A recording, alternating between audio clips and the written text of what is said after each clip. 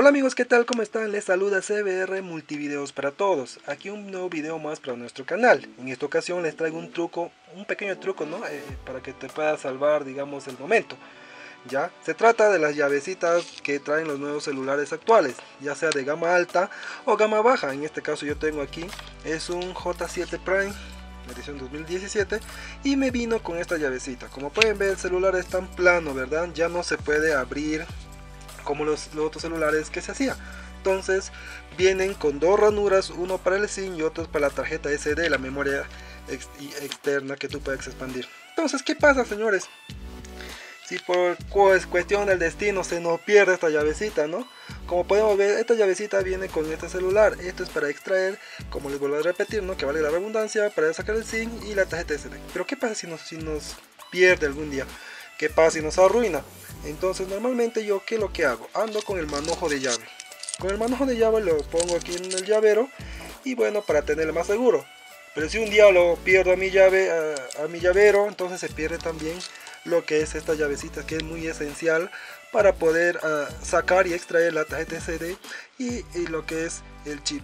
Bien amigos, esta llavecita funciona de la siguiente manera.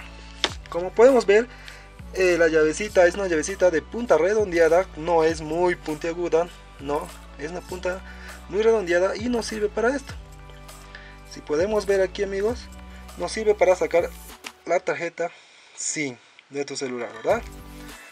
La sacamos con facilidad y también nos sirve para sacar lo que es la tarjeta de expresión interna. En, este caso en este caso no lo tengo y entonces es así. Pero ¿qué pasa si se nos pierde esta famosa llavecita? Entonces, si no tenemos esta llavecita, lo que podemos hacer es lo siguiente.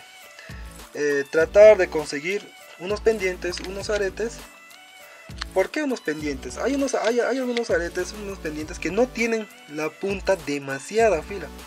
No tienen la punta eh, con, mucho, con, mucha, con mucha punta. Son puntas redondeadas. Entonces, esos tipos de pendientes no sirven en este caso les pongo un ejemplo, este es un marcador o un pincho.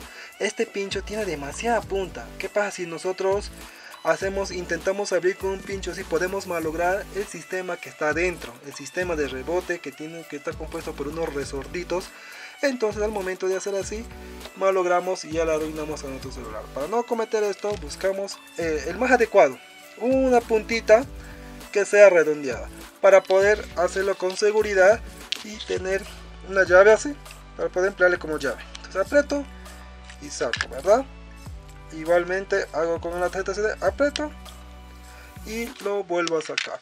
Entonces amigos si se nos pierde por A la llavecita esta lo podemos reemplazar con aretes que sean de punta no muy puntiaguda que sean puntas redondas no Puedes prestarte de tu novia, puedes prestarte de tu amiga o de tu enamorada, o también ya que es la moda de lo que los hombres también usan arete, entonces puedes, puedas utilizar tu propio arete para tu propia llave. Bien amigos, espero que les haya gustado este video.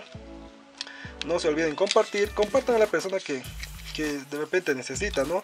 En este caso, las personas mayores, en este caso necesitan, a veces no saben cómo manejar su celular.